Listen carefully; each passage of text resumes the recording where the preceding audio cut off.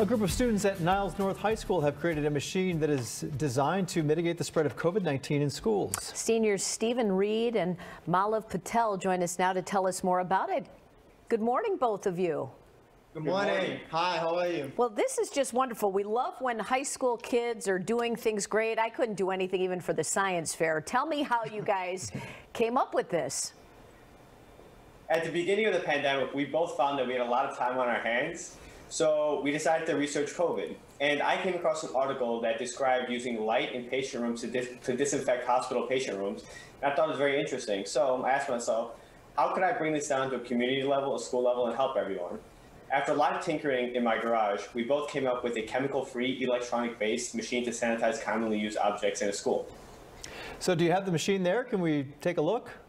Uh, actually, we do not have the machine there, but the pictures we sent do. There you go. Yes, yeah, now we're looking at them right there. So tell us how the machine works. So the machine is similar to a- an X-ray scanning machine at an airport. However, instead of X-rays, we use UVC light.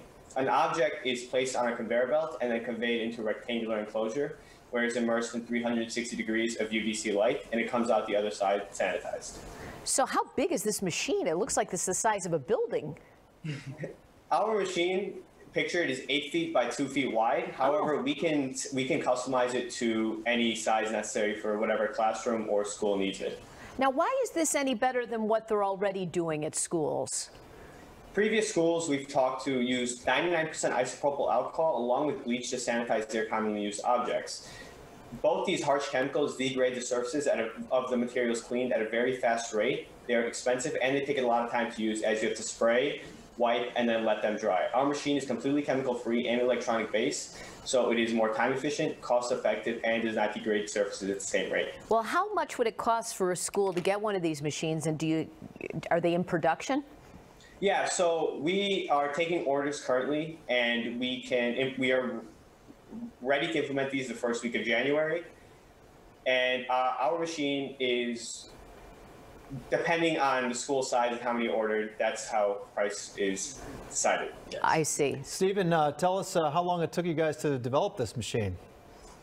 Well, we we started working on the first prototype in early August. Uh, we started uh, building a prototype in his garage using materials we could find at a hardware store. Uh, just trying to get a working prototype to see if we could actually bring this product to market and if we could implement it into schools. I, I'm just astounded. Are you guys going to do this in your free time in your garage, or how how are you going to get the supplies and do all of it? So for actual production, we've contacted an offshore factory that is willing to produce for us. Now let's hope that you're getting an A in science at your school. Are they appreciating what you're doing there, guys? Yes, they Yes, we hope so. Yeah. What did I mean? Do, does this happen all the time at Niles North? Is this like for a, a science fair that you guys came up with this, or, or are you just doing this in your free time? Just free time, figured out a way to help our community. What the? Look at this. Look at this, amazing. Boys, way to go. Right. It's just lovely. I was trying to do the volcano with the, you know, With the, the bake- the Mentos or baking the- oh, powder and the, yeah. the vinegar here, and these guys are actually making a difference. We're full of ideas for you guys. Just give Yeah. us a call if you need any help. So, best of luck to you. If you want more information, you can check out UV4 Schools. That's UV number 4 schools.com. Congratulations, guys. Thanks for joining us. Thank, you. you Is it so possible much. to say one more thing? Yeah. So even post COVID 19, thousands of absences are recorded every single year due to common illnesses such as the cold or flu. Our product can help lower the spread of this and in turn increase student attendance. So post COVID 19, our product, er, the rate of return, the rate return on investment is still there.